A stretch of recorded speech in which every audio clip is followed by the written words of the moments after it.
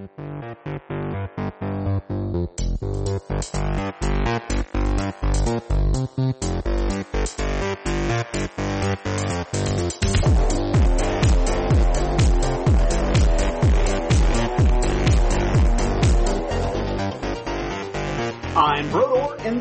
Is Why We Game. Now, my guest today is white trash geek with the guitar, Mikey Mason. You can't say that anymore. Why? White You trash? can't. I don't because it's. Nah, uh, fuck I'm in. White it- trash. Dude, I'm a... It's I'm- hate speech. No, it's Face, Facebook has flagged it as I literally off. people talking about my song on Facebook gets flagged as hate speech. That's, that's bullshit. How is that possible? Okay, so first of all, you're born and raised Indiana bred, right? well, I was born in Kentucky and we moved to Indiana because we figured out that roads let out. So, Wow. but I was That- only how many five. generations did that take? Uh, that, no, I was, yeah. Neither of my parents are from Kentucky. They moved there. So anyway, but it, my dad was on the run from the police, so it's okay. Uh, it's totally understandable. Nobody's gonna look in Kentucky. It's funny. I make, a, I make a similar joke that is less clever. My dad retired with number three, his third wife, to Panama. And people are like, why did you move to Panama? I'm like, extradition laws. no, but it's a true story. My dad was literally had escaped from prison. No, fuck off. I thought you were kidding. Your dad not- escaped from prison? yeah. Okay, alright. So let's, let's back up. How many, how many one shots have you run at cons about escaping the clink? Zero. You, what the hell, man? It's in your blood. I did not. Alright, so your dad All right, escaped so- from prison. All right, so we won't go into why my dad was in prison, but my dad is not a perfect person. We'll just leave it there. But uh, apparently, on my dad's first day or whatever in prison, the guards were telling him that you know this this is a story I've been told. It could be total bullshit, but that nobody's ever escaped from the, from this facility. Blah blah blah blah. blah. Well. He was either later that day or later that week while he was walking back to his cell unattended from lunch. A side door was open and unattended and he walked out, climbed the fence and did not come back. So someone else's sheer neglect or stupidity resulted in your father being Hey. the first person to escape from this prison. Nobody's ever escaped from that prison. Yes, that's amazing. So you guys moved to you moved from Kentucky to India. How old are you? No, we we moved to Kentucky. We were in we were in another one. state Yeah, at that yeah. time. We Yeah. moved to Kentucky. So how the fuck was Kentucky an upgrade? I mean that there's like four states you could have moved from. Yeah, because- well, well, it, it was a hiding place, I think. And then, uh, but I was born in Kentucky, so Mm-hmm. we moved back there, uh, from where we were. And I stayed there until I was five. When I was three, the gunman came and took daddy away for a while. Mm-hmm. That's when they found him. That's how I refer to it, you know, pink tinted Kodak memories, you know what I mean? Uh, and the gunman comes to the door and takes daddy away for a So, while. were you a latchkey kid? Uh, well, yeah. Well, my my mom and dad divorced. You know, she got fed up with this shit, and uh, so when I was eight, but uh, and then she always either had one or two jobs, and they were almost always in the evening. So we were pretty much unattended, my brother and I, for uh, the majority of our childhood. It's amazing to me the geek experience from sort of the second generation gamers, right? Yeah. So we're middle age, doughy, Caucasian Midwesterners, right? And it's interesting when people talk about the game industry and its lack of diversity and its lack of inclusivity, people have to understand that it started with fat, reject geeks that, you know, I mean, you're an avid reader, for example. Oh yeah, Escapism was our jam. Yeah. That was the thing is we didn't, we didn't like the lives that we had been dealt, so we wanted to pretend to be other fucking people. it's true. Yeah, True story. Yeah, it's it's not a desire to exclude. It was everyone excluded us, and we built our own fucking thing. and it wasn't something insidious. You know, it took me a year and a half of playing D&D before anybody joined our group who would even consider playing a thief. Really? Because of the name thief. Nobody wanted to be the thief. Nobody wanted to be the dishonorable one. Seriously, I shit you not. Now that's fantastic. it was like a year and a half before somebody said, I wonder what this whole thief thing's about. It's gonna be fast because I'm gonna steal this guy's stuff and I'm gonna stab him in his fucking back. And it, w- it wasn't because he was a first level thief and he had 15% max of, I think 20% climb walls was the best you had.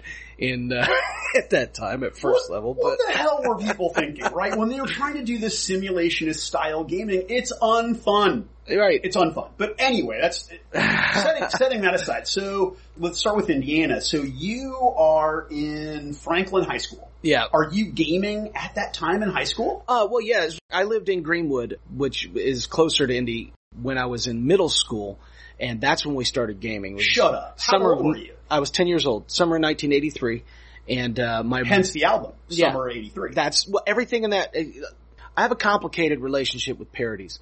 I like them, they're fun. Um, but when I write a parody, I tend to have to try and make it harder for it to be fun for me because all right, a bunch of people are going to fucking hate me after I say this, but it's so easy to write a parody, you can do it on accident. Anytime you fuck up the words to a song, you technically just wrote a parody. If it's art that you can do on accident, where's the bar? I raise the bar for me. Now I'm not saying it's not fun. I'm not saying it's not great. I'm not saying Weird Al is not a genius. Weird Al is totally a genius, but Weird Al's a genius not for his parodies, but for his pastiches, which are song style parodies. You want to Dare to Be Stupid is the best, uh, Devo song that they never wrote. You know what I mean? Mark Mothersbaugh said that is the best Devo song we never wrote. Period. End of story. Uh, uh, one more minute. These are the style parodies that Weird Al does. Calling Weird Al a genius because of his song parodies would be like calling a master painter a master painter for painting Gene Simmons makeup on a velvet Elvis painting. I mean, both things he didn't design or make up. So, I mean, All right. uh, so, uh, but Weird Al is a genius, and it's not that I don't like parodies. I love parodies. I enjoy them immensely, but they're kind of like a moped, fun to ride. I don't like people to watch me doing it. No, I get it. so when I write a parody, I tend to try and make it harder because I have a problem just enjoying things and being happy. That's because you are a middle-aged Asian Midwesterner. And- that is just, it's fucking baked in our goddamn DNA. I've gotten so much better at just letting other people enjoy things, but for me, it's harder. It's So harder for me. I think it was uh, Ryan Friedrich who who I think credited you for this was Uh-oh. not yucking other people's yum. Yeah, well, I didn't make it up, but yeah, I try not to yuck. That's it. You know Do you what? find it difficult? uh, very difficult. Sometimes, uh, like Twilight, I disdain Twilight. I saw Twilight in the theater, by the way, You, why? because my oldest son, who was in middle school at the time, all of his friends wanted to see it, and so he thought it would be cool, like the X-Men or whatever, and he wanted to go see it, and so, you know, I'm like, he's into this, so I, I tried, I checked the book out of the library, I tried to read it, I couldn't get more than four pages in, I was like, you know what? I had to go audiobook with George R. R. Martin, I'll go audiobook. I tried listening to the audiobook. I could not do it. I just couldn't do it at all. And I'm like, all right, I'm biting the pillow. I'm going in dry to the theater and, uh, and I'm there with my, I'm- There's been no lube, no Oh. warm up, Oh. no gentle rings around. and I already, you know, and I just knew that I didn't, I, I did not like the prose. I just didn't like the, the style. I figured maybe the, the movie treatment. And it turns out that Twilight's just not for me. So Ben comes out of the theater and we're getting in the car and he goes, Dad? And I said, yeah. And he goes, that movie wasn't very good, was it? I'm like, well, I wasn't going to say anything in case you liked it. he goes, no, no, said, uh, I'm sorry. so yeah, I saw it, but Twilight's one of those things where I disdain it, but there are people who, who love it. And so it's hard when it's something that I, you know, I have a degree in creative writing. From Ball University. I have a, I have a, I have a Bachelor of Science, uh, from Ball State University. I have a BS and BS from BSU. so No, that's classic. that's great, man. that's what, uh, $60,000 will buy you in a college education. Uh, yeah, be depressed. So creative writing obviously has been a big influence for your music. Oh yeah. But you as a gamer, I assume that that provided you with a platform that a lot of other people don't have when producing fiction for gaming. Oh, sure. I played for a year and then I became uh, a dungeon master, you know, started running games because there were just too many people who wanted a game and not enough people. I wanted a game and didn't have enough friends who were willing to DM and I'm like, I'll do it. Whatever. Let's do this. It's a great opportunity to stretch your creative muscles and especially if you're lazy and you don't want to write the whole story, it's even better. But you know, you would not classify yourself as a lazy person, I presume. uh, I'm, you know, I'm recovering. I don't know. Well, you're Sagittarius, right? I mean, so you're you're optimistic and you're creative and you're focused and you're half horse, so you've got a huge fucking cock. well, you're wrong on all counts. okay, I remember we were we were at a con once, and you and I were talking, and I was pretty drunk. I No. get, I get very emotional when I've been drinking, and and I said I said to you, so the thing that was remarkable about you specifically, out of uh, out of all the people that I've been talking to, is that the tremendous amount of courage it takes to take something to create it and put it out there is one thing. But you're the product. And that takes a tremendous amount of courage. And I remember saying to you that I don't have that. Well, to, to be honest, I didn't launch into it with me being the product, although that, that's the truth. When people ask me what I sell, the, the most bare bones answer is I sell me. My personality, my, you know, the experience of me being me, which fucking why anybody's buying that is beyond me. But, you know, I started as a stand-up comic and so I was playing a, a, a parody, a satirical amplified section cross section of my personality with people I knew. It was a lens through which I projected a part of me and made it bigger than life. And so that's what stand-up comedy was to me at that time. I was playing a character, uh, which was based both in me and my background and a lot of people I knew, but wasn't me. So I wasn't selling me. I was selling bullshit. Organized, creative, spontaneous seeming bullshit because quality spontaneity takes a lot more prep time than most people think. But it's true. That's why improv actors rehearse, right? You have to. You have to, you have to exercise the muscle. quality spontaneity requires a lot more prep than a lot of people think. So, because, you know, if they, you don't want to be bad at it. So, when I started, it wasn't that. And then when I moved over to doing, you know, I wrote She Don't Like Firefly and I went from doing stand-up comedy to geek music. That, so that was the transition. That was it. Well, so what, it what, began it. what inspired you to write She Doesn't Like Firefly? All right. So first, stop correcting my grammar. It's She Don't Like Firefly. Sorry, what, what inspired you to write She Don't Like Firefly? Which I watched that, I watched that video. There's no way you're breaking up with that chick for not digging Firefly. There were people who treated that like it was a fucking National Geographic documentary. like I had this relationship with this perfect, beautiful woman, right? And video recorded it and then, uh, found out she didn't like Firefly, broke up with her, kicked her out, wrote a song, recorded the song, then called her back and had her shoot a video with me. People thought it was autobiographical. Uh, That's yeah, they- hilarious. And they treat it like it's a joke. Nobody's doing this. If you're doing this, you are the joke. That's the problem. So, but yeah, uh, it started a couple years before that. It started with Fear the Con 2. So as a stand-up comedian, I was on the road filling my days with podcasts, anything. I, I just discovered podcasts. I had a little iPod and I just discovered podcasts and I realized that because I, I hadn't been able to game for a long time, I was missing that and I realized there were podcasts about gaming. So I start downloading these actual play podcasts, which I could not stand. I hate listening to other people have a good time when I Right? can't join in, right? Yeah. And also, quit making jokes. All right, don't rattle the ice in your cup. Um, all the things you take for granted at table, is just background noise. But on a microphone, it's It's wretched. oh, And I say that as somebody who has long time done an AP with the Fear the Boot guys. right. And Yeah. so it, it's uh, it's distracting. Some people can deal, and I'm not. You know, I get distracted. So I started looking for podcasts, and I can't remember.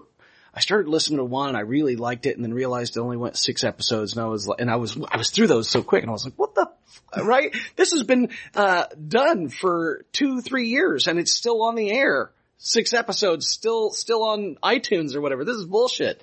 And I looked up podcasts. I wanted to find one that was still going, and it was Fear the Boot, and I started listening to Fear the Boot. It took me maybe a month, month and a half to listen to most of the episodes of Fear the Boot, and I was on the road when I found out that they were having a convention called Fear the Con, and I got excited, and then I realized, looking down, that it was a year prior, almost, and I was like, mother!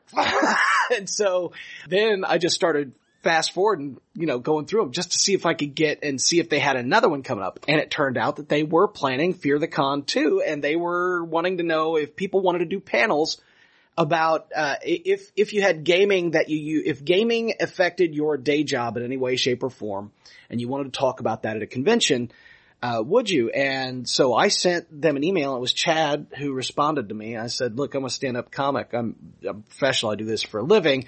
I got my sense of humor around a gaming table and I would love to come to the convention to do it. And it was on. You know, we worked it out.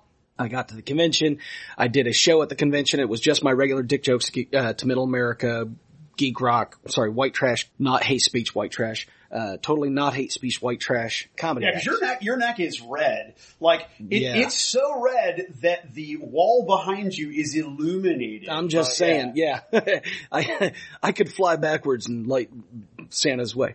Uh, it's you just got to put the corn somewhere else. That magic corn. No, um, so I did fear the con and I didn't have any geek material to speak of. It was just my regular stand-up act, uh, which was stuff that obviously was informed by geek humor at some point. That I got my sense of humor around a gaming table. So I did it. It was a great time.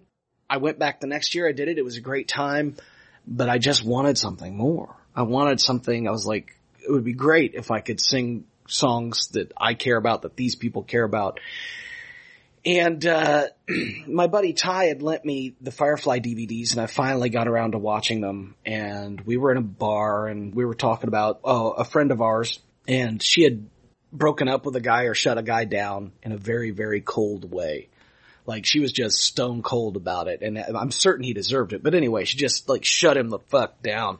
And I said, that was so cold. She didn't even cry when Wash died. and, and Ty ooh, right? And so that kind of festered. And I wrote this song, and the original version of the song sounds like Alabama. She don't like Firefly, didn't even cry when Wash died. Um, not even kidding. And I was like, this is not right. This is not right. So I'm rewriting the song. I'm trying to, where do I do it? Where do I do it? And I'm at a rest area in West Virginia, the pyramids one, if you know what I'm talking about. Uh, and there are people who know what I'm talking about. The pyramids, I it's right there on 77. But anyway, uh, maybe it's 64, but I'm walking in because I got a piss real bad. My eye teeth are floating and I'm walking in to these pyramids and it hits me that I need to do it like Nickelback. She don't like Firefly. and right, and I immediately bust out singing it because she don't like Firefly, right? and I'm walking in the rest area. There are people looking at me like I'm fucking insane, and I am cackling because I've got it. Right. I, you, you, don't understand. I got it. You, you, found the magic, and it's so different. You don't. You, you, you can't go looking for it. You just stumble on it. So I went and I did it. It came back, and I wrote the song, and I recorded the song after the trip. I recorded it in one day and called Ty up and we set up the shoot for a couple days later and I did that. That was the week before Fear the Con 4 in 2011. And I posted it online the week before Fear the Con 4 and after about 48 hours it started going viral. So it was Fear the Con 4, the first time I played She Don't Like Firefly Live. If you listen to the end of the Impotent Nerd Rage album, there's a a little thing at the end called Echoes of Forum X, and it's a nod to Kiss Destroyer, but the rock and roll party track at the end of Destroyer, but it's literally recorded at Fear the Con 4. It's the first time people singing along to She Don't Like Firefly. And I knew as soon as I knew that, I knew I wanted to, and I'm there at the convention doing this geek song, and the rest of it's just my slightly evolving white trash, middle America dick joke humor to music and I realized that I want, by the time I come back to Fear the Con, I, I'd been introduced, I hadn't played it yet, to a game called Kobolds Ate My Baby, and I knew that I wanted to write a song called yeah. Kobolds Ate My yeah, Baby. All hail King Torg. Indeed. And, uh, and I knew that I wanted to, uh, write a song called Too Fat to Troop about Jack Porkins. And, uh, Which is fucking hilarious, by the way and I knew I wanted to write a song called Me and Alan Moore's Beard and make it like a buddy film kind of thing. And beyond that, I didn't know a whole lot about what I wanted from, but I, I just, those three things I knew I wanted. And, uh, the Fear the Boot fans and family funded that first album. I mean, they just knocked it out of the park. I went to a studio. Some of it I wrote while I was waiting to record songs in the studio. So it was, it was an amazing experience and I, I owe Fear the Boot, like hmm. big time for being able to do what I do for a living because I'd already been able to transition to being a full-time comedian from, you know, being a middle manager and being able to transition from being a comedian full-time, which is a sweet gig. Don't get me wrong. All right driving around, drinking before you go to work. You know, you, you walk into work, they hand you a shot. This is a bad job. This is not a bad job. Being able to tell people fuck you from your desk. Mine had a microphone and it was on a stage, but you know, it was a pretty good gig. But being able to do, go from that to play music that I just, whatever music I want to play. When I started, it was, geek rock comedy because I thought that that's what people wanted. But it, and I, have talked about. I have a podcast that goes out to my patrons on Patreon. Uh, there's free episodes every Friday. It's called Mikey Talks uh, because I'm super original. Uh, I'm creative, like like you said, Mike. well, I, I, just call bull, I just call bullshit on that. I, I, do. And in fact, in one of in one of your videos, it was actually because I wanted to talk about this. All right. Um, you you have a, a, an endorsement of Gygaxian proportion. I do. I really and, do. In, during the video of uh, best game ever, you talk about how uh, how you base the song on someone else's song and how she was sweet and charming in real life, mm-hmm. and you are not sweet and charming. And I just, I gotta call bullshit on the charming part. You're very charming. But again, I was playing a character, and I've I've got to the point. I realized, uh, and it was conventions that did this, that people who like what I do sure they came to me because there was that the bug light outside, right? The bug light of geekery, right? So I'm singing songs about Firefly, about Star Wars, about right, role playing games. you a member of the tribe, you right. are a bard. Right. I'm yeah, I'm a member of the tribe and I'm a bard of somewhat.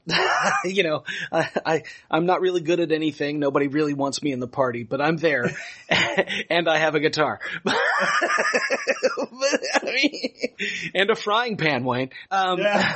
sorry. That's a throwback. But yeah, so I realized that they don't care. They just want good music. They want to know that you're genuine. They want to know that you're real. They want to know you're not a dick.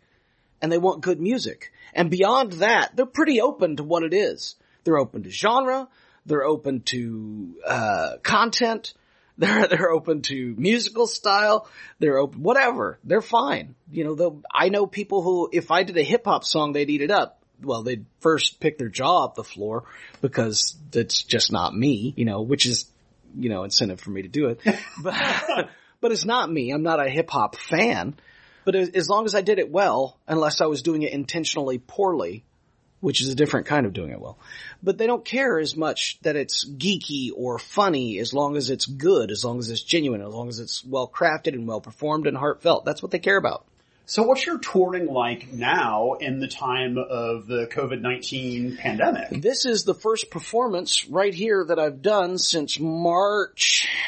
Well, I feel I feel extremely I feel extremely flattered because one, I just assumed that you did not like me, and and two, the fact that is my default position on it, every, everybody as well. Oh, fair enough. Here's fair to insecurity. Yeah, right. Fuck, man, it's the goddamn worst. Mm. Did you get beat up as a kid by your parents, by your uh, mom? Uh, no, no, no, no, no, no. Uh, and and no, I didn't get beat up by my mom, but uh, I got beat up by my brother. Uh, but you know, he's also the guy who wouldn't let my dad hit me. Dude, I get it. I get you know, my, my my older brother, he saved me from some significant beatings that I would have gotten from my mother. Yeah. Like, I mean, just, but anyway, this show ain't about me. It's about you.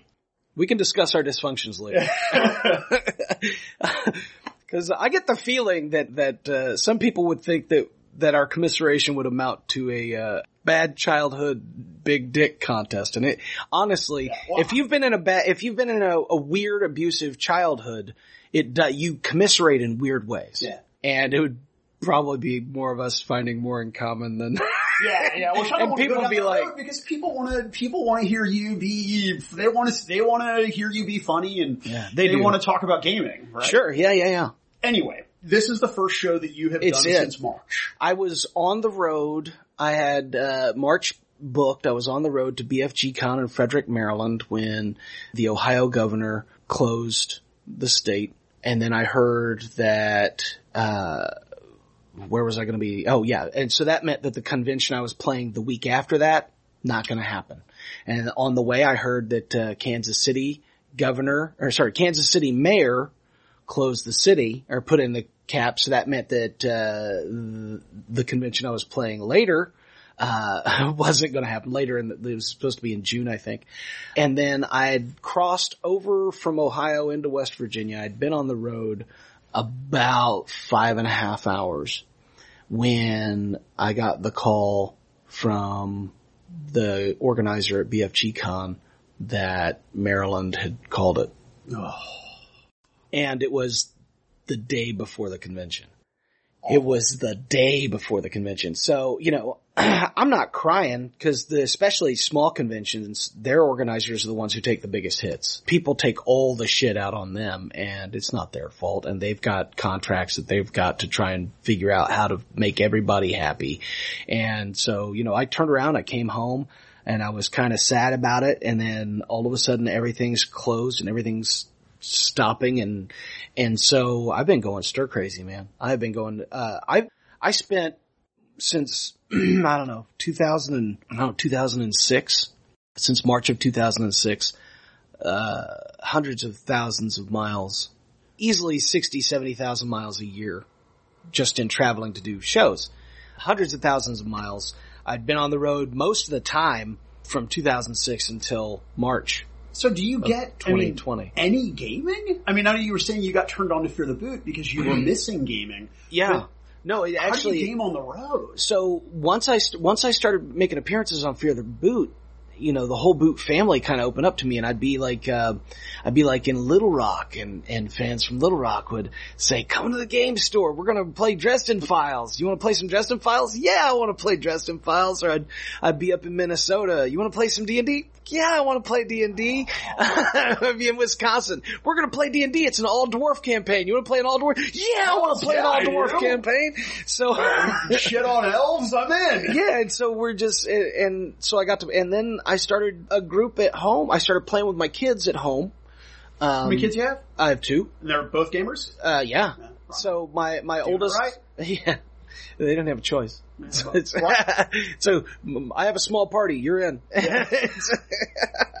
but uh, uh, with my oldest and my youngest and, and their friends, and then when uh, when we moved from Redkey to Muncie, Redkey is a really small town, so when we moved to Muncie, I started a gaming group again, like a regular gaming group, and it was just awesome. But It's you're incredible. So, but the desire to be at the Mikey Mason table has to be intense because when I worked at a game store, just as a fucking clerk at a game store, right? Like, you know, early twenties, not anybody.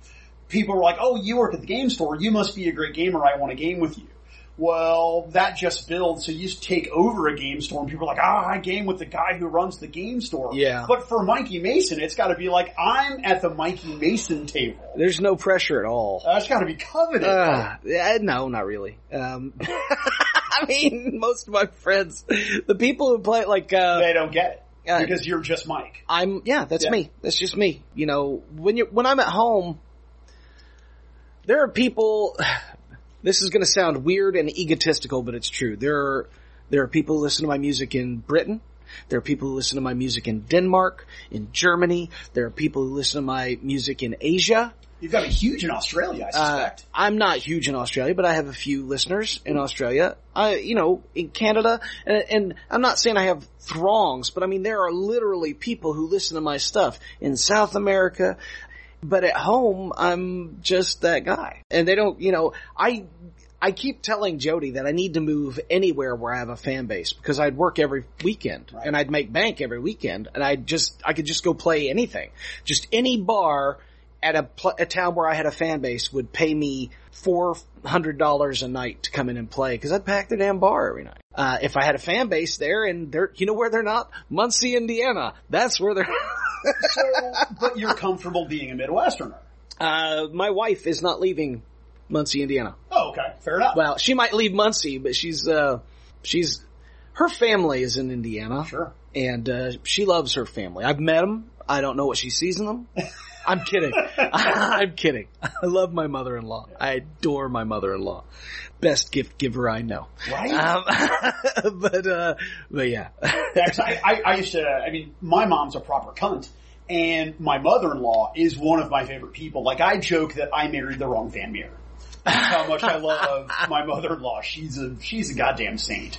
My mother-in-law gives me instruments that I didn't know I wanted.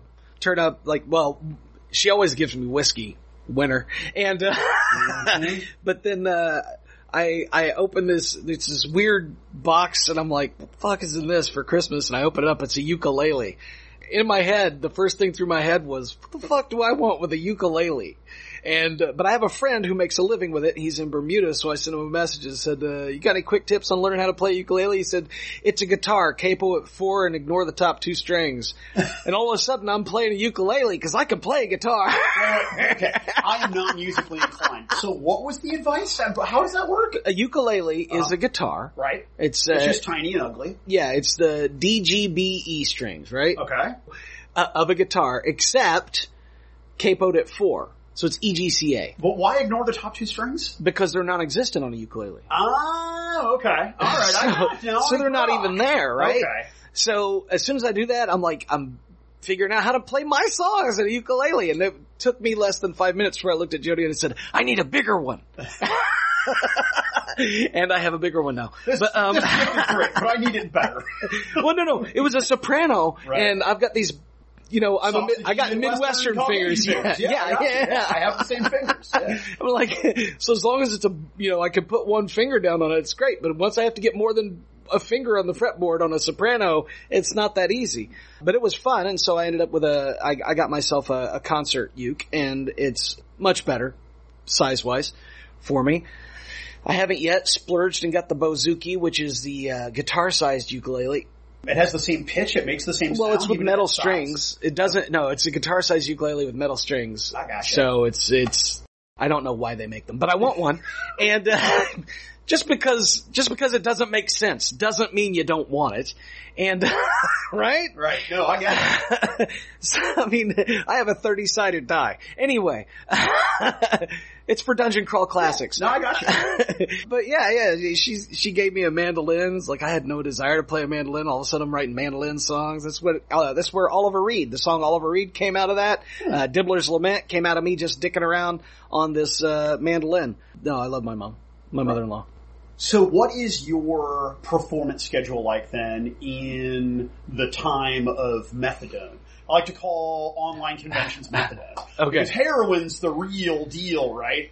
And right now all we have is methadone. um, it's I've pulled back. Everybody wants me to do an online show, and uh, I'm not doing a Gen Con show. At all? Nope. Maybe I'm wrong. I went through the catalog and I thought I found, I thought when I You, did you did Left, find me. found I'll be in, name. in yeah. the comedy cabaret. Yeah. Uh, but uh, that was pre-recorded. I pre-recorded my segment and sent it to Mark Gunn, who's a, a dear friend of mine. But I did not submit any, and it's because I realized that it, it just doesn't do anything for me. My online presence is my online presence, and I do a free online show every month. My next one is August 7th. So it'll be tonight, uh, August 7th. Uh, 2020 at twitch.tv slash comedy rock geek. It's a free show from 8 p.m. to 10 p.m. Eastern Daylight Time. I do one a month. Tips are accepted. I, I do requests in exchange for a certain tip level. At a smaller tip level, you get a recording of the entire show. An even smaller one, you won't get a recording of the show, but I'll spin what's called the Wheel of Mikey and pick a random song. It literally picks a random song from my catalog and I play that song for Ah. you. I do toasts of epic proportion, uh, where, you know, you tip me a certain amount and then I will do a long rambling bullshit toast about you. And drink. And I end up pretty drunk by the end of the show because people love me and they like me to get drunk and, and shoot off at the mouth. So that'll be August 7th and I'm doing those anyway and the people who are going to support me are already going to be there and all it does doing online conventions is divide the income. I'm literally keeping a convention. Some of them are smaller conventions that I feel like need the support of artists and the others are conventions that I play like Dragon Con or Gen Con, not only because I love the convention because I do, but there is a significant advantage to playing that convention. You expose yourself to a new fan base and there are lots of new people and that's great, but they're just not gonna find me. I'm not gonna find one new fan, I don't think, playing Gen Con online. Not hmm. one. Zero. I'll find zero. I'm assuming then that going out, being in public, pressing the flesh, being present at events is your best marketing opportunity. When you're selling yourself, that's what you have to do. Yeah, and then and that's why when I drove up here today and I got in my hotel room and I was super depressed and I didn't do anything last night. I just sat there and vegged out on TV because there's just I, the city's empty Yeah. and it broke my heart. If I'd have known you were coming in early, I would have called them, had them open it. yeah, you know, right? I mean, that would have been that would have been nice. Like, like, shit, Broder's coming. We Somebody put the window back in the ram. we need to get seventy thousand tribe members into Indianapolis stacked. Please, please put the window back in the ram. Look, I know some people. So, all right, well, let's. I want to backtrack. First of all, I want right. to go back to the Gygaxian endorsement. All right. So Gary Gygax's daughter Mhm. um, basically gushed on you and said that Gary would have loved your stuff. I'm paraphrasing, but how did that come about? the I believe it was the fourth anniversary of Gary's death. Somebody posted my song on her wall, and she watched it, and she had her mom watch it, Gary's ex-wife, and they both wrote me. They sent me emails, and I said, first off, this is my my little geek fanboy heart is going nuts right now. And just knowing that you like my song, that you think Gary would have liked the song, that's that should be enough. But uh do you mind if I post this on my website? And they said, sure. So I did. The only thing better would be to be contacted by the Tolkien estate and be like, uh, yeah, Mr. Mason, we just gotta tell you that JR, he would have loved this shit. Kind of better than that would have been like, you know, Christopher saying, uh, so I transcribed it into, to Sindarin and now it's going to be printed in the back of the Silmarillion. that would be, alright, but this is bullshit Fantasyland. So Yeah, that's a, that's a, that's a bridge way, way too far. So, so you're middle school, you get into gaming, you're 10 years old, you get into gaming, you're doing bullshit D&D. Uh, And everybody thinks it's satanic. This is literally in the middle of the satanic panic. right. It's 1983 is when I started playing, and my mom realized I make jokes about my mom not liking Dungeons and Dragons, but she loved Dungeons and Dragons because she knew that instead of being out on the streets, getting drunk, having sex, doing drugs, getting in trouble, her kids were sitting at the kitchen table drinking tea rolling dice, doing math, reading books, practicing problem solving. She was like, this is the best game ever. Right? That, that's where I'm at is, you know, everybody thinks we're Satanists because we read. How weird is that? So, that's actually, that's a disturbing time too, because I mean, I very distinctly remember that being a kid and intellect being something that was shamed. I don't know Oh, yeah. if that's still the case today. I don't have kids, but Right. Well, and, and, you know, a lot of people, I don't know, uh, one of the tendencies of my generation, and it's a tendency that, that I have had to force myself to overcome, is to belittle or poo-poo geek culture because it's become popular culture now. And the reality is, yeah, we had to fight for it, and yeah, we got picked on for it, and yeah, this is the utopia we envisioned, so why don't you just shut up and enjoy it instead of belittling the people who didn't have to get picked on for it, you know? My youngest, to his middle school years, uh, two, two years in middle school, well, a year in middle school and a year in high school, wore his Rainbow Dash hoodie. My Little Pony, Friendship is Magic, with a fucking mane and horse ears on it. I was worried he was going to get picked on and the kids, I mean, I'm sure he did get picked on a little bit, but for the most part, kids were very accepting that he was a brony and he loved Rainbow Dash and it was okay. That would have never flown in my middle school and my high school. Never would have flown. so what was your first deviation from D&D? Uh, ooh, Gamma World, and then Marvel Superheroes. Uh, how, I have never played that. How, but that's the Rip. diceless one, right? No, no, it's Okay. it's all percentile dice. Uh, okay, I'm thinking of a later iteration. Had to be, yeah. Marvel. Gotcha. So then, so you're playing TSR's Gamma World. You TSR's Marvel Super. It was all TSR. right, Uh, and that's all high school stuff. uh, no, it was middle school. Middle and, school. and then Chill, uh, which was TSR's version of Call of Cthulhu. Oh, I, that I don't remember. We were up TSR's ass for a little bit, and then uh, we mo- once we moved on to high school. I mean, there were other games that were in that era. We played a little bit of James Bond 007. We played uh, a little bit of. I mean, we had a lot. Teenage Mutant Ninja Turtles and Other Strangeness. Kevin Siembieda and Erick Wujcik, I think is how you pronounce it. Villains Vigilantes was a big one. Jeff Dee's Vigilant, Villains Vigilantes. That's a hero system game, right? Yeah. Yeah, old buckets of Jesus. That game, you gotta be super smart to play that. You gotta pretend at least. Yeah, it's not, it's not, it's not my, it's, It's not a my lot of math. Yeah, And, uh, too many. Too many. So did you ever get into board gaming, miniature gaming, or has it always been specifically? We couldn't afford miniatures. When I say I was born and raised in a trailer, I mean, when I was born, my parents lived in a trailer most of my life till I was 17 years old. I lived in a trailer or in a rented apartment, but for the most part it was a trailer.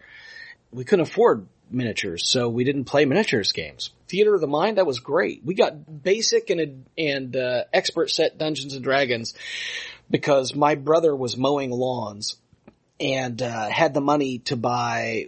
One of them was on sale for half off, and the other one was full price. And he had the money to buy both of them if they were half off. So he found uh, he switched some stickers around and ended up getting them both for half price. Oh, interesting enough. So I, Sorry, Toys R Us. Oh, so was- Shrug. ah, okay. Uh, that's right. Because a lot of my D and D collection as a kid came from shoplifting. Um, because we weren't well to do. I mean, I'm, I mean, if I look back at my childhood compared to many other people, it was, it was fine. It was a cakewalk, whatever. Yeah. But yeah, we didn't have the money to buy D and D stuff, and I certainly, my parents, my mom's, my dad, anyway, we didn't have the money to buy D and D stuff, and so we just fucking ripped it off. it's terrible, but that's what we did, and what it's happened. wrong, and I'm ashamed of it, but yeah. So you had Toys R Us is where you got your D and D stuff? That's where he got it. That's where we started. Did it. you have a didn't game store in your town? Not really, no. Oh, Uh, then there was Tom Metzler Toy and Hobby that I got some of the stuff. Like I, I started getting into GURPS, which I loved the system, but nobody ever really played it with me. And then as I, you know, as I moved up into high school, we played Palladium Fantasy Role Playing and Rifts and a whole bunch of different stuff. I loved the, the setting for Rifts and hated the system. I hated the system. But yeah, that's, I mean, that's, you know, I, I would play anything somebody wanted to play. Let's do it, you know. do you have preferences? Do you have game styles or genres that you really would prefer to play over others?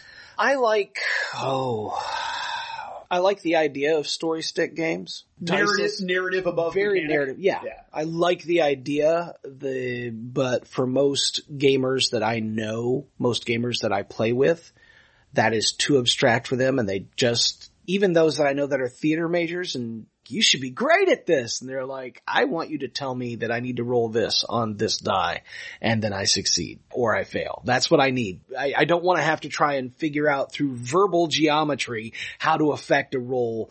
To them it feels like bullshit and to me that's, you know, home base. but I love the idea, but I've never really uh, had the execution of it. And I love the Powered by the Apocalypse games. Again, for certain groups, that's just too abstract. What I have found works for my group, Savage Worlds works. They really like, it gives them the proper combination of flexibility, but also this is what you gotta roll. They like that. We loved fifth edition. Right now we're playing Dungeon Crawl Classics because I did a gig for Goodman Games and, and they said, uh, do you want us to pay anything? I said, ah, send me a game book or something. So they sent me a lot. and I read it and I went nuts Why? because Why? What? I mean, is it is it because it's like this OSR wank or it's not an OSR wing. I mean, and, and a lot of people think they, I mean, really, a I've never of, played. a lot of people call it a retro clone. But here's what it clones. That feeling that you had when you first played D&D, when everything was new and magic and dangerous, and you didn't know that you had to set green slime on fire, and you didn't know that different colored dragons had different colored breath weapons, and you didn't know that kobolds weren't deadly, and you didn't know what everything else is, that's what DCC clones. The rule system's not a clone. It's so not a clone. What mechanic does it use? I mean, it uses a, uh, well, a standard D20, right? it uses the action die mechanic, which for most players is a D20, but for halflings is a D16. and it can go up as your character goes up. so you can get up to a D30. That's and, ridiculous. And it's got all, and that's the other thing is it's got all these dice that you, it's got, you got to roll a D3 or a D5 or a D7 or a D14 or a D16. And you're like, why does anybody need those dice? And I'm going to say, why do you need a fucking D12? Because they're cool. That's why. Pick up your dodecahedron and roll, my brother. but the biggest thing is the magic system. And this is something, they, they have a thing in there called mercurial magic. The crit tables are nuts and your crits depend on your level and your class and then also your fumbles. So if I'm a 10th level fighter, my crit is different than my 7th level wizard. Oh, so much so. if you're, if you're first, uh, they only go to 10 the levels only go to 10. So it's basically take fifth edition and have it in levels. Okay. So a first level character in DCC is as good as a second, almost a third level character in fifth edition. Is a, is that strong, right? But yeah, no, no, you can have a, we'll just say that a, a 10th level fighter's critical is going to be more than likely much, much more effective against anything than a zero level character's critical or a first level character's critical. It's just that, and then the magic system, they have this thing called mercurial magic where every spell you get as a, as a wizard or a magic user has, uh, a, uh, there's an 80%, was it 80%? Yeah, I think it's an 80% chance of an unintended effect and it's forever. So like, there's this possibility that when you cast magic missile, that you're going to take damage every time. Like every time you cast magic missile, you take one to three damage. So there's this blowback or feedback. Yeah, Right? and, and there are different. Or uh, I have a character right now. I don't have it. It's one of the characters in the game. Every time he casts flaming hands, he gets a psychic shield for one d four rounds. That raises his armor class by two. I have one that every ca- time he casts something, he turns his skin uh, on the flesh. He turns into basically it all turns invisible, but you can see his skeleton. There's one mercurial effect where you cast a spell and the nearest living thing to you dies. So you can have that. It can be read magic, right? And you find these out by casting the spells for the first time. And it's the same effect. So you can have a wizard, right? who has this and, and I've heard about this, uh, through the Dungeon Crawl Classics, through the, uh, the Spellburn podcast, where I've heard about where this wizard will carry a bag of bugs just on his belt so he can cast a spell that causes the nearest creature to him to die and not kill his party members.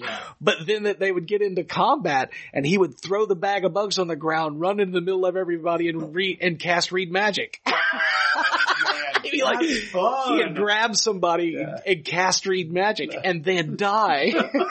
he like hugs them, read magic. Ridiculous. So, and there's there are so many, and then there are patrons, and the spell system, eh, as Spellburn podcast describes it, is more Vancian than Vancian. So you take that original D and D uh, Vancian spell system. Just because you cast a spell doesn't mean you lose it. If you try cast a spell, you have to make a roll. If you fail the roll, you've lost the spell. If you, if you fumble the roll, you may suffer some sort of corruption from the spell, like you may grow a beak. yes! That's cr- so. And, and, and, if you want to add to your roll, you can do what's called spell burn, which is mean you can hurt yourself. You can take off points of your strength, agility, or constitution, or all three. Now that's brilliant. all right. That's brilliant. And you have a stat called luck that you can use after you roll anything to affect the roll. And once you burn luck, it's permanent. You'll get back your strength, agility, and constitution at a rate of one per day, one point, not one per, per stat, but one point per Right. day. So if I burn, that you if I don't burn spell those burn. three stats, I wake up tomorrow, I get one point in one stat back period. Right. As long as you don't spell burn that day. You have to go a complete day without spell burning. But if you spell burn 20 points worth of stats, it counts as a natural 20. But that means that you got a 40 because you rolled a natural 20 and you add the 20 that you spell burned to the roll. So that's 40, which means you've got the best effect. And each spell has a list of effects that range from failure or, or corruption to nearly godlike proportions like you've sanctified the entire friggin' earth with your holy sanctuary, which is not the 30 to 32 plus. But anyway, It's so fantastic. I mean, I just, I have a tremendous amount of respect for the effort that must have gone in to make this thing. The magic system is the most expansive part of the book. Literally, it's a huge book and it comes with three ribbon bookmarks built into the book. Ribbon bookmarks that are bound into the binding of the book so you can always have a bookmark when you need it as a game master. All right, well, How I'm- fucking awesome All is right, well, this? you've you've you've sold one copy of this uh, one copy of this book already on this episode. Plus, uh, what the Goodman? I forget. I forget his uh, first. He's the nicest. Joe St. Goodman, He's yeah. the nicest fucking guy, and he's putting forth a lot of effort to preserve the history of the hobby.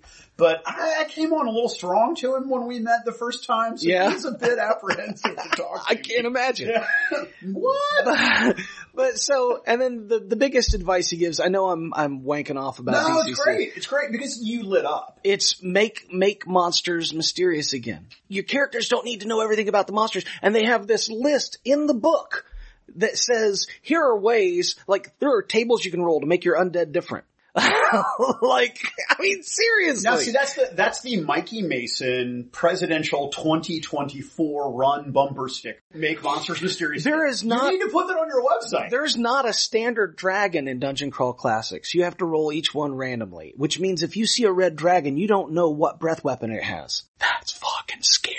Yeah. Think about it. That's scary. yeah, to to bring the wonderment back because the best gamers that I've ever gamed with have been adults that didn't grow up gaming.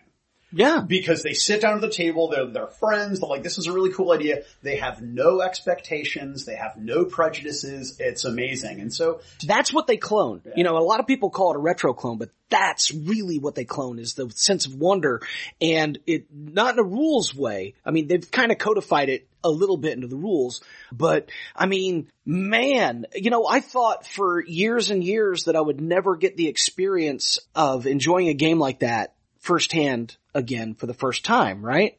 And I thought the best I would ever get, and it's pretty close, was introducing my sons and watching them light up each time they discovered something new about the game. Or, oh, a mimic? Oh, you're fucked. And, cause you're first level. and whose dad's gonna put a mimic in a room with a first level kid? Okay, so. absolutely, but DCC's a meat grinder, right? It starts with a thing called the funnel, and everybody at the table who's a player is supposed to roll multiple zero level characters, three or four zero level characters. And they suggest that you roll them straight down the line, roll your stats straight down the line. You know what I mean? Strength, agility, constitution, you know, uh, personality, it's not wisdom, it's personality, intelligence, and luck. All right. And they want you to roll your 3d6, no modifiers, no roll four, drop Oh. one. Just roll 3d6 straight down the line. Six times, write that shit down, and it's super fast to roll a character, right? And then you roll a background so you can end up a gong farmer, which is literally the guy who empties the, the shit out of an outhouse. Mm-hmm. so you have a, a, a bag of night soil as equipment and a trowel Soil. and a trowel, right? And the trowel is it's, it's a trowel that's used to scrape. Oh, first thing I'm doing is sharpening that. I'm finding a stone. And it's I'm no, it says it can be used as a dagger. it says in the thing it's used d four damage. It's a dagger. So, uh, or you could be, you know, an alchemist or a slave, an escaped slave, or whatever. Well, shit, there's a podcast right there. Is that you just get people who've never played this, Yeah. and you sit down and do it. Well, it. and then they do a first level adventure, which is called, or not a first level, they do a zero level adventure, which is called a funnel. And most of them are gonna die.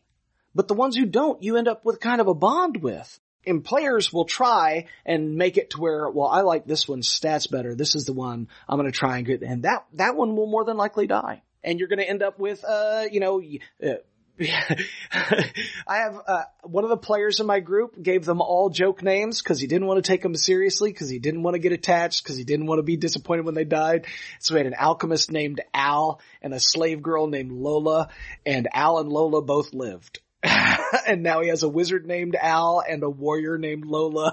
do you maintain multiple characters through the course of the game? Uh, I told, well, cause I only have four players in my group. Right. I told them to, you know, keep them. And then if they get down to one character, we'll keep that.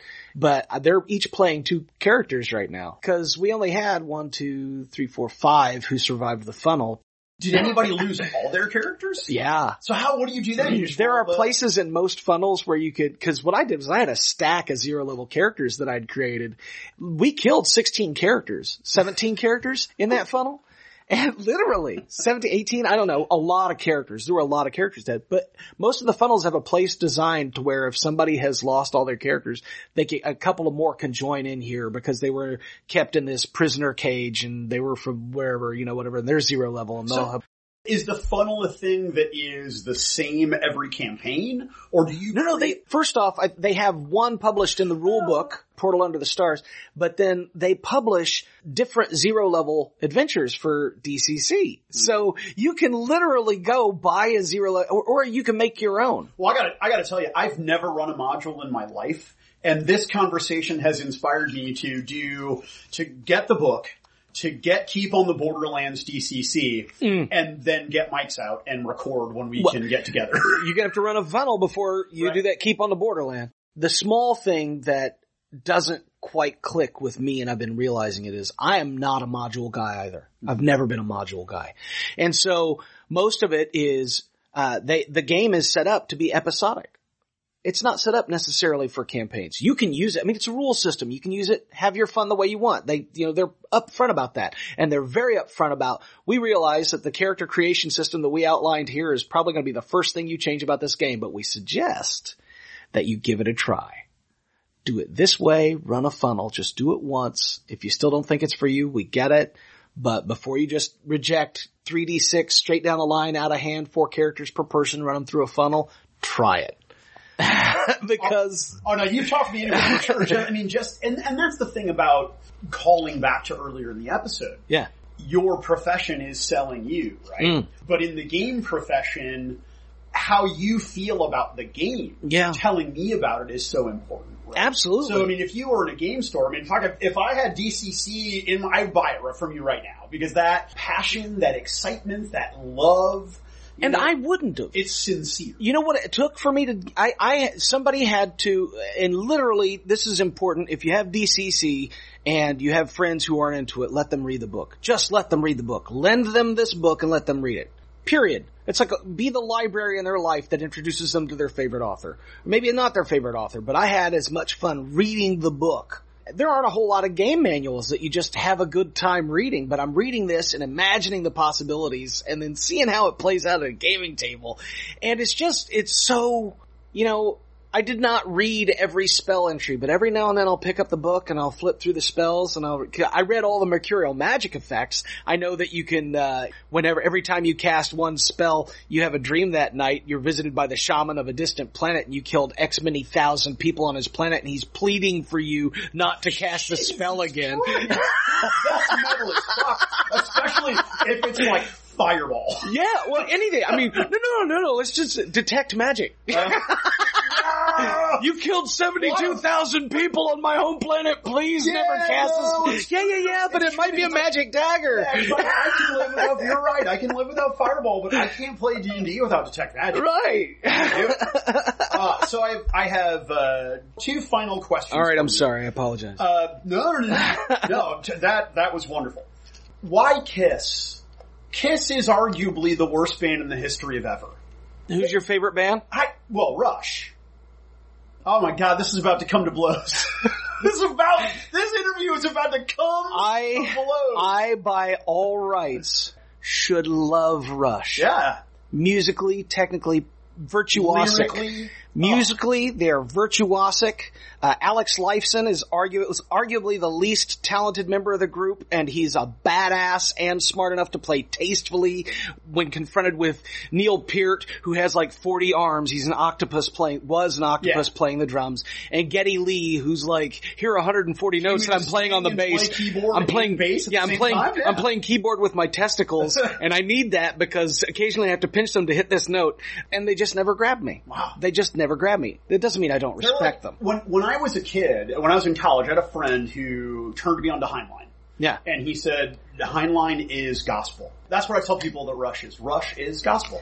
Kiss, I was exposed to them when I was five years old, and they were fucking fire breathing, blood spitting superheroes with rock music. Yeah, well, what's amazing about them is I hate their music. I mean, I hate it. However, as far as performers, presenters, marketers. I think Brilliant. you've listened to the wrong album. Absolutely brilliant. There's a Kiss album for you somewhere, uh, because they went through so many different phases.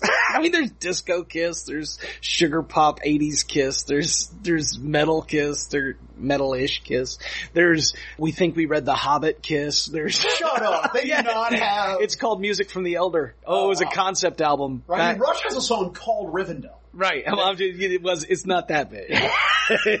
Bob Ezrin produced it. Lou Reed co-wrote some of the songs on it. Shut up. Yeah, I'm not fucking with you, man. Wow. Uh, so there's a Kiss album for everybody.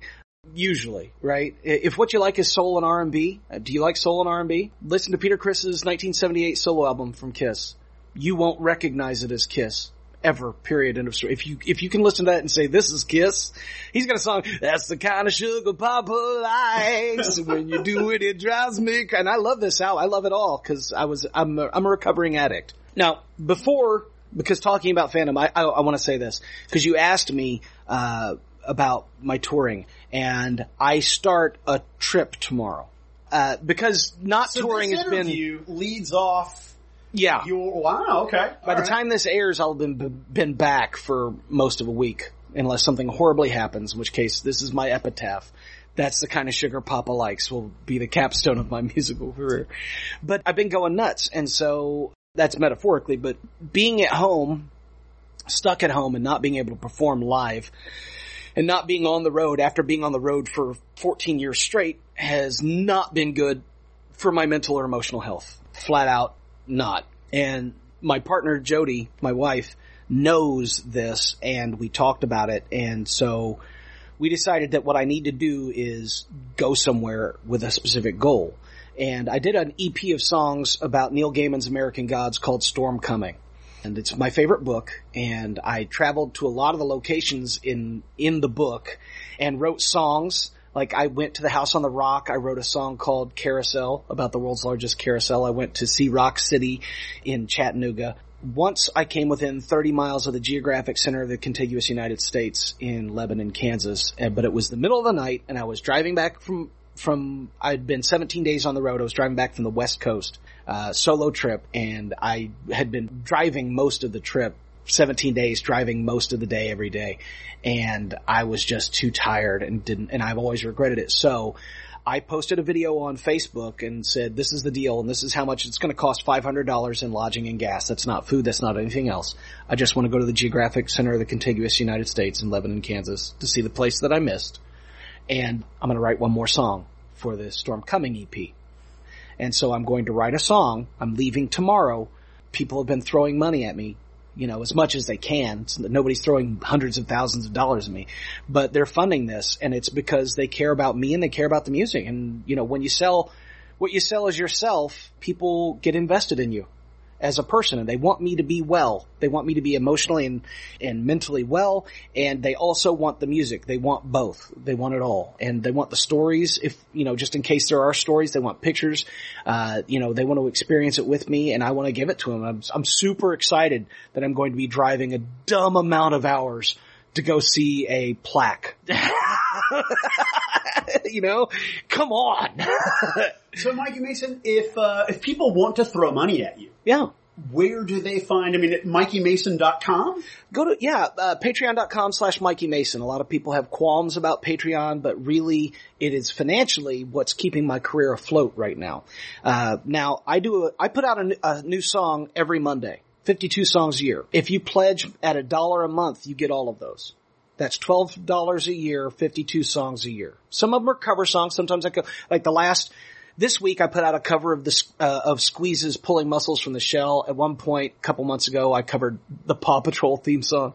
I have a song called Wisdom of Hounds and it starts off like a punk rock version. You think you're about to hear that. You know, How about the song about the dogs?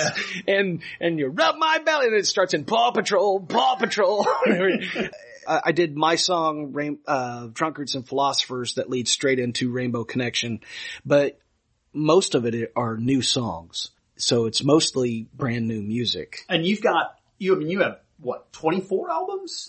That's Kiss. Uh, no, I was on your website and I counted all of these, I counted all these EP cover arts. Yeah, well not, not all the icons. Some then I go to a different page on your website and there's like a dozen of them. Yeah, so there, there are 10 full length albums and 4 EPs and then a what lot of the singles. Length. Uh, an EP is what would be, uh, these are left over from the days where vinyl albums meant something. So it's literally how long the vinyl album is. It's how many songs are on. Oh, okay. Um, I learned something new today. An EP would have, um, roughly five or six songs on it, but an album, uh, would have probably nine or, at nine or ten minimum. You know, Rush could have an album that's two songs because they did 2112. But um, and, it would be, and it would be forever, and it would. Be, and it's a it's a would, four four album set of two not songs. That, not that I can sing, but if you'd like me to go through from side A song one and go, I mean, I'll I'll I'll fucking I'll take you on a train to Bangkok. I mean, I, uh, uh, stay and, away from the trees. Yeah. And, uh, oh. So, uh, so if we want to follow, so pretty much if I, if I want to follow your schedule, if I want to get your music. Patreon.com slash Mikey Mason. I do a podcast called Mikey Talks. Um, if you back me at five dollars, you get two more episodes a week. I put out it's New Music Monday, and then Wednesday and Thursday I put out episodes of Mikey Talks. On Wednesdays I do song focuses, so I talk about the writing and the meanings and stories about specific songs. And then um, Thursdays are Tales from the Road. So today's episode just went out and I told the story of, uh, Chuck's Place, which is in Drummond Island, Michigan. But the, how, how, do you get to Drummond Island? You drive to Canada, but before you get there, you turn right and and then you have to get on a boat when you run out of land, and then you're at Chuck's place. and uh, that's how you get there. But that was a place I had to play. I didn't have to, but I did, and I was happy to play it. But uh, you know, I tell that story, and sometimes they're very meaningful, and sometimes they're just light and and fun. And then on Friday, I have free episodes. They're on SoundCloud.com slash Mikey Talks, and also on Patreon.com slash Mikey Mason. Uh, and those are available to the public. So tomorrow there will be a free episode and those are on more generalized topics. Mikey Mason, thank you so much for your time. Thank you for coming out. Thanks I for having really, me, man. Really, really appreciate it. Gave me an excuse to get out of the house. Ah, let's go to the Ram.